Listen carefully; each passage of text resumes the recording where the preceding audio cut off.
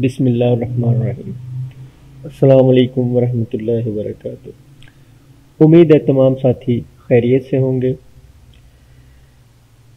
हमारा आज का चैप्टर है कि हमने किसी शख्स की जो वेबसाइट हमें उसने दी है, जिसके ऊपर हमने एस करनी है। उसकी करंट परफॉर्मेंस देखनी है कि उसकी करंट परफॉर्मेंस क्या है और जब हम एस कर चुके होंगे, अपनी या डिजिटल मार्केटिंग पूरी की पूरी कर चुके होंगे, उसके बाद उसकी परफॉर्मेंस क्या है? क्या कस्टमर पहले से ज़्यादा आ रहे हैं या कम आ रहे हैं?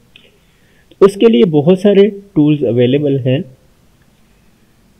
हम बात करेंगे और मोस्टली हम लोग वर्क करेंगे गूगल एनालिटिक्स के ऊपर, जो कि वेबसाइट की जितनी भी परफॉर्मेंस है उसको रिकॉर्ड करता रहता है और कंपैरिजन आपको देता रहता है। Basically Google analytic is a tool ठीक है? जो कि आपकी वेबसाइट की कंप्लीट एनालिटिक्स देता है आपको। आपकी अपनी एक वेबसाइट है बेसिकली जिसके ऊपर हम एस e कर रहे हैं उसकी पूरी एनालिटिक्स वो आपको दे देगा कितने लोग विज़िट कर रहे हैं। और दूसरा, उसका जो बिज़नेस है, अगर वो आपका बिज़नेस सेल से रिलेटेड है या किसी चीज़ से भी रिलेटेड है, उसकी पूरी परफॉर्मेंस आपके सामने वो लेके आता है कि वो किस तरीके से मूव हो रहा है, उसमें क्या एक्टिविटीज़ हो रही हैं और किस तरीके से सारी चीज़ें चल रही हैं। गूगल एनालिटिक्स बेसिकली कितने लोग आपकी वेबसाइट को विज़िट कर रहे हैं कहाँ कहाँ से विज़िट कर रहे हैं, किस एरिया से विज़िट कर रहे हैं, पाकिस्तान से, इंडिया से, अमेरिका से। ट्रैफ़िक सोर्सेज कहाँ से आ रहे हैं? क्या वो डायरेक्ट सर्च से आ रहे हैं? क्या वो गूगल से आ रहे हैं? क्या वो यूट्यूब से आ रहे हैं, फेसबुक से आ रहे हैं? उसके ट्रैफ़िक के सोर्सेज कहाँ पे हैं और किस जगह से हैं और किस तरीके से वो आ रहे हैं? उसके बाद कोई शख्स जिसने हमारी वेबसाइट विज़िट की है तो वो कितनी देर हमारी वेबसाइट उसने विज़िट की है? क्या हमारी वेबसाइट के ऊपर वो पाँच मिनट रहा है, पचास मिनट रहा है? और उसके बाद वो जितनी देर रहा है, उसमें उसने कोई एक्टिविटी भी की है? क्या उसके ऊपर स्क्रॉल्स किए हैं? क्या उसके ऊपर उसने दूसरे लिंक्स को क्लिक किया है? क्या उसमें कोई इसने फॉर्म फिल किया है? तो ये तमाम चीज़ें वो हमें शो करता है। और उसमें बाउंस रेट हम उसको कहते हैं। पहले भी ये ज़िक्र किया था कि अगर कोई शख्स आता है, हमारी वेबसाइट को ओपन करता है उसके ऊपर दो घंटे भी उसको ओपन रखता है, लेकिन उसके ऊपर कोई एक्टिविटी नहीं करता है तो उसे हम बाउंस कहते हैं। तो वो बाउंस जो है, वो क्या रेट है, कितने लोग आए, उसमें से कितने परसेंट लोगों ने एक्टिविटी की और कितने ने नहीं की। बेसिक मकसद विजिट्स हमारी वेबसाइट पे कितने लोगों ने विज़िट किया? कितनी एंगेजमेंट्स हुई हैं? यानी कि उन्होंने हमारा किसी फॉर्म को फिल किया है, या उसमें से हमारे पास लीड जनरेशन हुई हैं? वो क्या उसकी रिपोर्ट्स हैं? उसके बाद कन्वर्जन उसमें से कितनी हुई है? तो बेसिकली गूगल एनालिटिक्स टूल इस्तेमाल करने का मकसद हमारा ये होगा कि हम अपनी वेबसाइट को एनालाइज कर सकें कि उसकी परफॉर्मेंस क्या है। और उसमें हम देखते हैं कि हमारी परफॉर्मेंस कहाँ कहाँ से ज़्यादा बेहतर आ रही है और किस जगह से कम आ रही है। फेसबुक एड्स के ज़रिए ज़्यादा आ रही है। फेसबुक के ऊपर जो हम जेनेरिकली कोई चीज़ लगा रहे हैं, वहाँ से ज़्यादा आ रही है। हमने कहीं पे बैक लिंक्स लगाए हुए हैं तो वहाँ से बैक लिंक से जो है ना वो हमारी वेबसाइट पे लोग विज़िट कर रहे हैं। तो ये तमाम चीज़ें हम गूगल एनालिटिक्स टूल्स में देखते हैं। अब हम डायरेक्ट चले जाएँगे गूगल एनालिटिक्स टूल के ऊपर। गूगल में गूगल एनालिटिक्स लिखेंगे तो सबसे टॉप पे आपके पास analytics tool solution for your business ये आ जाएगी। इसको मैं क्लिक करूँगा तो ये हम इस पेज पे आ जाते हैं marketing platform get started today तो आपके पास ये नई बेसिकली विंडो खुल जाएगी। पुरानी को मैं क्लोज कर दूँगा, मुझे उसकी ज़रूरत नहीं है। यहाँ पे ये analytics dot Google dot com ठीक है? आई विल स्टार्ट मेजरिंग मैं यहाँ से मेजर करना शुरू करूँगा तो ये हमारे पास एक फॉर्म मांग लेगा। अब यहाँ पे कुछ चीज़ें हमने फिलअप करनी है। सबसे पहले तो अकाउंट नेम अकाउंट नंबर कुछ कुछ भी हो सकता है। आपका अपना नाम हो सकता है, आपके क्लाइंट का नाम हो सकता है, या आप अपनी वेबसाइट का नाम आप लिख सकते हैं।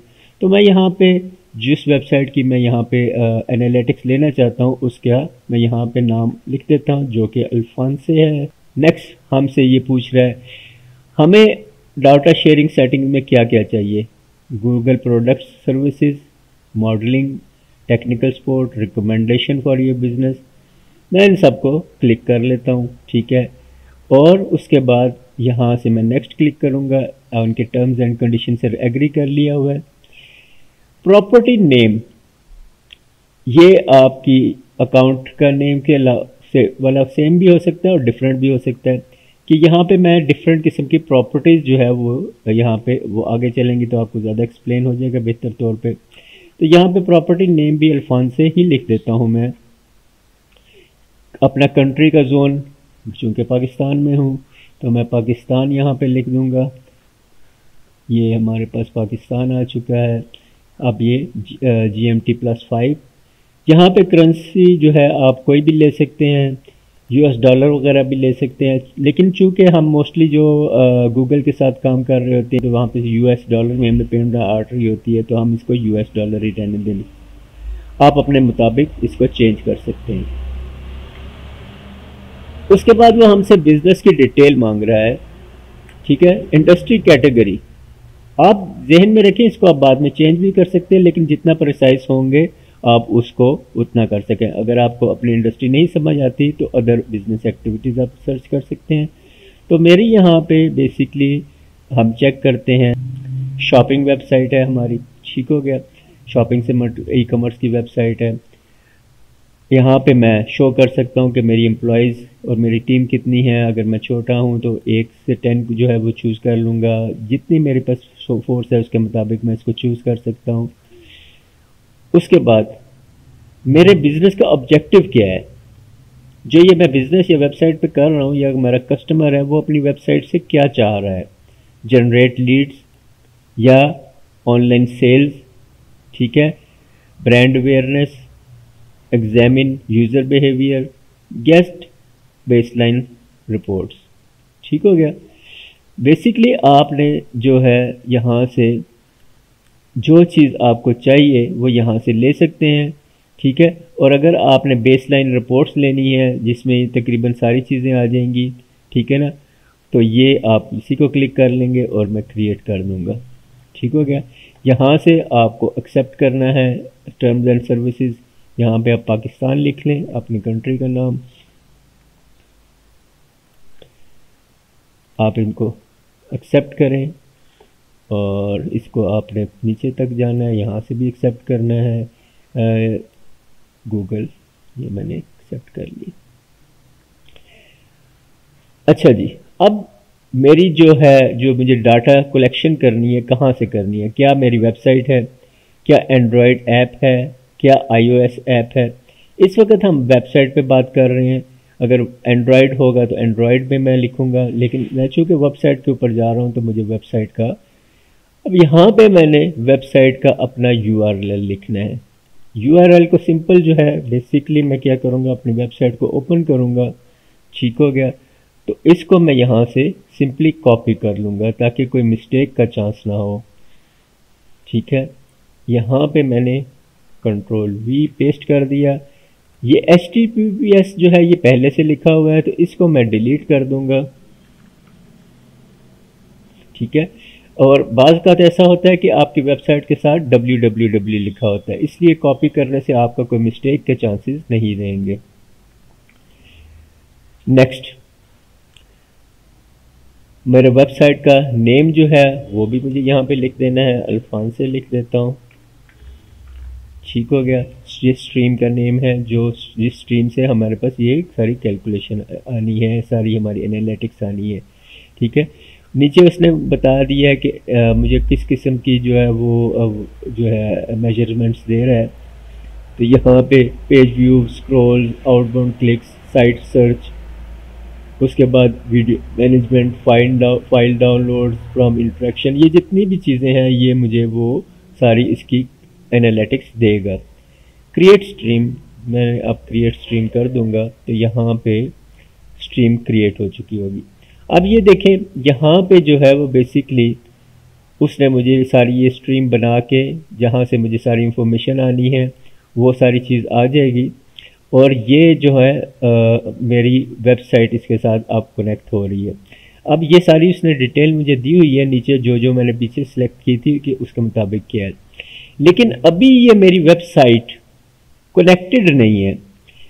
गूगल की साइट से तो हमने इसका एक कनेक्ट करने का सारा प्रोसेस शुरू कर दिया, लेकिन हमें वेबसाइट से भी कनेक्ट करना है वेबसाइट से भी परमिशन देनी है कि हम जो है उसको अपनी स्ट्रीम जो है वो उसकी इंफॉर्मेशन ले सकें।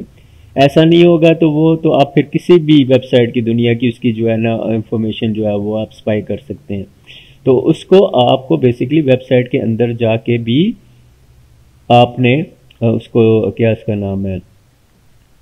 आपको उसको साथ कनेक्ट करना है। ठीक हो गया? तो यहाँ से मैं देख रहा हूँ जी view tag instructions tag instructions में मेरे पास ये एक टैग आया है। ये उसने दिया जिसको मैंने अपनी वेबसाइट में पेस्ट करना है तो फिर ये मेरी वेबसाइट इसके साथ कनेक्ट हो चुकी होगी।